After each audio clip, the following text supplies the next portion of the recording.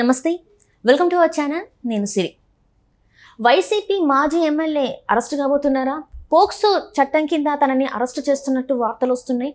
మరి ఏం జరిగింది? ఏంటనేది? అసలు తను అంటే ఒక ఎమ్మెల్యే స్థాయిలో ఉండి ఇలాంటి పనులకి ఎల్- పాల్పడ్డారు? ఏంటి? అండ్ దానికి సంబంధించిన వీడియో కూడా ఒకటి సోషల్ మీడియాలో వైరల్ అవుతుంది. సో ఈ అంశానికి సంబంధించి మనకి ఇంకా పూర్తిగా వివరించడానికి మనతో పాటు ఉన్నారు ప్రముఖ సీనియర్ జర్నలిస్ట్ దుర్గా కుమార్ గారు. నమస్కారం సార్. నమస్కారం. సిరి మన వీక్షకులు కూడా నమస్కారం. సార్ వైసీపీ మాజీ ఎమ్మెల్యే ఎవరైతే ఉన్నారో తనని పోక్సో చట్టం కింద అరెస్ట్ చేయబోతున్నారని చెప్పేసి అయితే వార్తలు వస్తున్నాయి సార్. తన ఇంట్లో పనిచేసే ఒక అమ్మాయి పని పిల్లని మీతో అసభ్యకరంగా వ్యవహరించారని చెప్పేసి ఆ వీడియో ఇప్పుడు సోషల్ మీడియాలో వైరల్ అవుతుంది. మరి నిజంగా తనని అరెస్ట్ చేసే అవకాశం ఉందంట. ఇప్పుడు చట్టం తన పని తను చేసుకెళ్తుంది అంటారు కదమ్మా. ఇప్పుడు ఎవరు ఎమ్మెల్యేనా ఎంపీనా మినిస్టర్ అనేది ఎక్స్ మినిస్టర్ అనే పాయింట్ రాదు కదా. ఇప్పుడు అందులోనూ వ్యక్తిగతంగా నేరాలు అందులో ఫోక్సో లాంటి చట్టం అంటే సెక్స్ సంబంధించిన నేరం ఇది. ఇప్పుడు వాళ్ళ పని మనిషితో గతంలోనే మిస్బిహేవ్ చేసినట్టుగా కేసు నమోదైంది. అది ఇన్నాళ్ళు వీళ్ళు అధికారంలో ఉన్నారు కాబట్టి దాన్ని అరెస్ట్ కాకుండా తప్పించుకోగలిగారు. ఇవాళ ఆయన కూడా అక్కడ డిఫీట్ అయిపోయాడు. వేరే తెలుగుదేశం ఎమ్మెల్యే గెలిచాడు. ఇప్పుడు గతంలో తీసుకున్న వివిధ కేసుల మీద ఉన్న పరిస్థితిని కూడా ఇప్పుడు ప్రభుత్వం సమీక్షిస్తుంది. అన్ని విధా అన్ని సాట్లా కూడా. కాబట్టి గతంలో ఎమ్మెల్యేల మీద బుక్ అయిన ఎంపీల మీద ఏనా ప్రజాప్రతినిధుల మీద బుక్ అయిన కేసెస్ వాటిని ఖచ్చితంగా వాళ్ళు అధికారంలో ఉంటే ఆపగలరు కానీ అధికారంలో లేని సమయంలో ఆపలేరు కదా. అందువల్ల తెలుగుదేశం కూడా ఇప్పుడు వాటన్నిటిని సమీక్షిస్తుంది. అందులో భాగంగానే ఇప్పుడు ఈయన అరెస్ట్ అయినట్టు కూడా వైరల్ అవుతుంది. వాళ్ళ కాకపోయినా రేపైనా అరెస్ట్ అయ్యే అవకాశం ఖచ్చితంగా ఉంది. ఈయన పేరు డాక్టర్ సుధాకర్ రావు. కొడుమూరు కొడుమూరు అంటే కర్నూలు పక్కనే ఉంటుంది ఆదోని రూట్లో నియోజకవర్గం. అది అది ఒక రకంగా వెనకబడిన ప్రాంతం కూడా.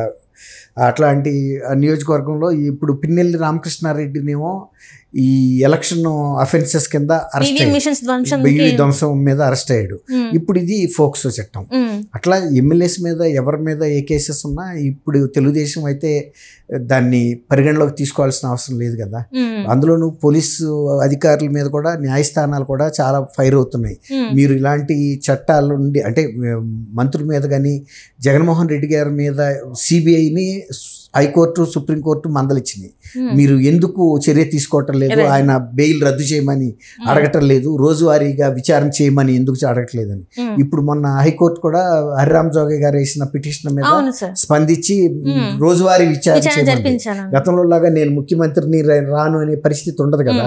అట్లా ఆయన మీదే జరుగుతున్నప్పుడు ఎమ్మెల్యేస్ మీద ఎంపీస్ మీద ఉన్న కేసెస్లో కూడా ఇంకా జాప్యం చేయాల్సిన అవసరం ఏముంది? ఇప్పుడు. ప్రజలు తీర్పిచ్చింది కూడా ఈ ప్రభుత్వం గతంలో జగన్మోహన్ రెడ్డి గారి ప్రభుత్వం అధికార దుర్వినియోగం చేస్తుంది. ప్రజల మీద దాష్టికాలు చేసిన వాళ్ళ నాయకులు దాటిని కేసు కట్టనివ్వటం లేదు. వాళ్ళ మీద చర్యలు తీసుకొనివ్వటం లేదు. కాబట్టి మేము నలిగిపోతున్నాం మధ్యలో. ఇలాంటి ప్రభుత్వం మాకు అక్కర్లేదు. జగన్మోహన్ రెడ్డి గారు అలాంటి వాళ్ళని సమర్థిస్తున్నాడు. అందులో భాగంగానే కదా ఇవాళ నెల్లూరు వెళ్ళి ఆయన్ని పరామర్శించడానికి ఆయన ఏం ఘనకార్యం చేశాడని ఎలక్షన్లో ఆయన చేసిన నేరం వైరల్ అయిపోయింది. దేశమంతా చూసింది. ఒక ఎమ్మెల్యే వెళ్ళి ఈవీఎం పగలగొట్టడం. ఇప్పుడు ఎవరన్నా అరాచక శక్తులు వెళ్ళి ఎలక్షన్లో ఇట్లాంటి విధ్వంసం సృష్టిస్తారు కానీ స్థానికంగా ఉన్న ఎమ్మెల్యే వెళ్ళి సృష్టించాడంటే ఏమర్థం? అంటే మీరు ఓడిపోతున్నారని మీకు తెలవబట్టే ఆ రోజు పొద్దున్నే అతను ఆ రకమైన దౌర్జన్యానికి దిగాడు. అంటే తను చెప్పిన రీజన్ ఏంటంటే ఈవీఎం మిషన్లోకి పాము వెళ్ళింది ప్రజల్ని కాపాడడానికి చెప్పారు. అండ్ ఇప్పుడు జగన్మోహన్ రెడ్డి గారు ఏం చెప్తున్నారంటే అదేం లేదు తను రిగ్గింగ్ జరిగింది టీడీపీ పార్టీకి వాళ్ళు రిగ్గింగ్ చేస్తున్నారు అందుకే ధ్వంసం చేశారంటే ఒక రకంగా వాళ్ళు వాళ్ళు చేసిన తప్పు అని ఇండైరెక్ట్గా ఒప్పుకుంటున్నట్టే కదా. ఒప్పుకున్నట్టే కిందసారి పాము వెళ్ళింది అనేది అబద్ధం అని కూడా తేలిపోయినట్టే కదా. అండ్ ఇంకొకటి ఏంటంటే ఇప్పుడు జైలుకి వెళ్ళి జగన్మోహన్ రెడ్డి గారు తను పరామర్శించడం పక్కన పెడితే ఇండైరెక్ట్గా ఆ పిన్నెల్లి గారిని ఇరికించినట్టు. ఇంకా కన్- వీళ్ళే ఒప్పించి "ఆ, నువ్వు తప్పు చేసావు నువ్వు ఇంకా జైల్లో ఉండాలన్నట్టు ఇండైరెక్ట్గా వీళ్ళు సంకేతాలు ఇస్తున్నట్టేమో అనిపిస్తుంది మరి. అవును. ఇప్పుడు ఆయన ఇంత ఇప్పుడు వరకు కూడా ఆయన ఏం చెబుతున్నాడు? నేను పగలగొట్టలేదు అది మార్ఫింగ్ అని కూడా చెప్పారు. ఇవాళ కాదు అక్కడ రిగ్గింగ్ జరుగుతుంది కాబట్టి ఇతను దాన్ని ఎదుర్కోవటానికి చేశాడని. ఇప్పుడు ఈయనకి పార్టీ గెలుపు లేదు అనేది ఆయనకు అర్థమైపోయింది. ఆ ఎన్నికల్లో పోలింగ్ బూత్ల దగ్గరికి వెళ్ళినప్పుడు అక్కడ ఎక్కువ శాతం ప్రజలు టీడీపీకి ఓట్లు వేస్తున్నారని అర్థమైంది. అందుకే వాళ్ళతో తగాదా కూడా పెట్టుకున్నాడు. ఒక లేడీని బెదిరిస్తా వెళ్ళాడు. అది పగలగొట్టిన తర్వాత కూడా ఏంటి నువ్వు ఇట్లా దౌర్జన్యాలు చేస్తున్నావు అంటే అది అతనికి అలవాటు. ఆ నియోజకవర్గంలో ఎవరు ఎదురు చెప్పరు. ఆ రోజు ఎన్నికల రోజు ఎదురు చెప్పింది ఒక మహిళ. చెబితే ఆ మహిళా ఓటర్ని కూడా మళ్ళీ వస్తాను నీ సంగతి చూస్తానని బెదిరిస్తా వెళ్తున్నాడు.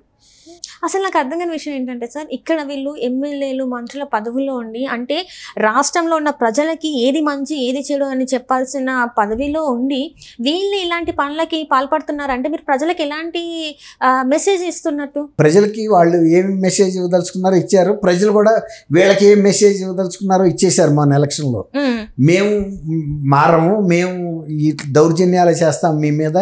మీరు మాకు బానిసల్లాగా పడి ఉండాలనే ఒక అహంకార ధోరణి ఆయన అంటాడు కదా జగన్ జగన్మోహన్ రెడ్డి గారు పేదలకి పెత్తందారులకి జరుగుతున్న పోరాటం ఇదని. ఇప్పుడు ఆ పెత్తందారి వ్యవస్థను వద్దనే కదా ప్రజలు తిరగబడింది. ఇప్పుడు ఆయన అంటాడు మేము ప్రజలకి మేలే చేశాం కానీ అయినా మమ్మల్ని ఓడించారంటే మేలు చేస్తే వాళ్ళు ఎందుకు ఓడిస్తారు నిన్ను? ఇప్పుడు ఇంక ఇప్పటికి కూడా ఆయనకి అహంభావం అడ్డం వస్తుంది. నేను చేసిన తప్పులకి బేషరతుగా క్షమాపణ చెప్తున్నానని చెప్పాలి ఆయన. ఒక ముఖ్యమంత్రిగా నువ్వు ఐదేళ్ళు పరిపాలన చేసి ప్రజలు నిన్ను ఇంత చీత్కరించి ఓడించారంటే జరిగిన తప్పుని బేషరతుగా ఒప్పుకో ఇంకెందుకు భేషించాం నీకు ఏమీ లేని రోజుల్లోనే సలహాదారులు ఎవడం అంగు ఆర్భాటం లేని రోజుల్లోనే నువ్వు నూట యాభై ఒక్క స్థానాలు గెలిచావు. ఇంతమంది సలహాదారులు పెట్టుకుని వేల కోట్ల రూపాయలు వందల కోట్ల రూపాయలు ఖర్చులు పెట్టి పెద్ద అంగు ఏర్పాటు చేసుకుని వాళ్ళు నువ్వు పదకొండు స్థానాలకు పరిమితం అయ్యావు. ఇంకా నేను ప్రజలకు మేలు చేశాను నన్ను గుర్తించలేదంటే. ప్రజలు అన్న పిచ్చాళ్ళ ఎవరు వానపాము అంటే మనకు మేలు చేసేవాళ్ళు. వానపాము అంటే రైతు మిత్రుడు అంటారు. మీకు తెలుసు కదా? అది ఈ వి- విషపురుగుకిను వానపాముకి తేడా తెలియదు వాళ్ళకి. విషపురుగుతో ప్రమాదం. అందుకని నిన్ను తల పగలగొట్టేశారు నువ్వు ర- వద్దు. నీ. ప్రభుత్వం వద్దు నువ్వు వద్దని. కాబట్టి ఇవాళ ఆయన బయటకు వచ్చి ఎన్ని చెప్పినా ఇవాళ పిన్నెల్లి రామకృష్ణారెడ్డి గారి గురించి కీర్తిచ్చిన కొద్దీ ఆయన పరువు ప్రతిష్టలు దిగజారితే ప్రజా వ్యతిరేకత వస్తుంది ఆయన మీద. అంటే ఇప్పుడు ఇప్పటికి కూడా జగన్మోహన్ రెడ్డి గారు మారలేదు అనడానికి ఇది ఒక నిదర్శనం అనుకోవచ్చా? ఖచ్చితంగా అసలు మనుషులు మారమ్మా ఇప్పుడు ఒక వ్యక్తి ఒక లక్షణాలు ఒక కొన్ని అలవాట్లకి బానిస అయ్యాడంటే ఆయనకి ఇప్పుడు అదే జరగాలి. వాళ్ళకి కూడా ఆయనకి నేను ఒక ముఖ్యమంత్రి హోదాలో ఉండాలనుకునే మాట్లాడుతున్న ఇది కనపడుతుంది ఆయన అహంభావం. అంతేగాని నన్ను ప్రజలు తిరస్కరించినప్పుడు నాలో తప్పులు నేను సమీక్షించుకుని సవరించుకుంటాననే ఆలోచన రావాలి కదా ఎవరికైనా. ఆయన ఇంకా ఇప్పుడు కూడా వార్నింగ్లు ఇస్తున్నాడు ప్రతిపక్ష తెలుగుదేశం ఆయనకు ప్రతిపక్షం అనుకుని. తెలుగుదేశానికి అధికారం ఇచ్చారు నూట అరవై నాలుగు సీట్లు ఇచ్చి. అట్లాంటప్పుడు ఇంకా ఆయన గతంలో ఆ ఇరవై మూడు సీట్లతోనే ఉన్న తెలుగుదేశం అనుకుంటున్నాడు. నువ్వు ఇవాళ ప్రతిపక్షం అనేది ఆయన మర్చిపోయాడు. ఇంకా నేను చీఫ్ మినిస్టర్గానే ఉండాలని అనుకుంటున్నాడు. అది అంటే ఇప్- ఇప్పటి వరకు ఇన్ని జరిగాయి. ఇప్పుడు ఇప్పుడు ఒక్కొక్క ఒక్కొక్క కేసు పడుతుంది. ఒక్కొక్కరు మెల్లిమెల్లిగా జైలు బాట పడుతున్నారు. మరి నెక్స్ట్ జగన్మోహన్ రెడ్డి గారి టైం వచ్చింది అనుకోవాలా ఇంకా ఆయన కూడా జైలు బాటే మీద ఉన్న కేసులు ఎవరి మీద ఉన్నాయమ్మా? అంత పెద్ద కేసులు భారతదేశంలో కూడా ఎవరి మీద లేవు? అంత ఆర్థిక నేరాలు. అంత ఆర్థికంగా లేవు సార్ కరెక్టే. కానీ ఆయన ఉన్నట్టు ఇంత హ్యాపీగా ఇంత ఉల్లాసంగా ఉత్సాహంగా బయట తిరిగే వ్యక్తి కూడా ఎవరు లేరు కదా. ఎందుకంటే పన్నెండు అంతకన్నా చేయగలిగింది ఏం లేదు. ఇప్పుడు బెయిల్ మీద పన్నెండు సంవత్సరాలు ఉన్న వ్యక్తి కూడా ఈయననే కదా. అవును ఈయనే. అందుకే అన్న ఈ బెయిల్ ఏ రోజైనా రద్దు అవ్వచ్చు తర్వాత రోజువారీ విచారణ జరిగిన తర్వాత ఆయన బెయిల్ రద్దు అయితే అరెస్ట్ అవ్వాల్సి వస్తుంది.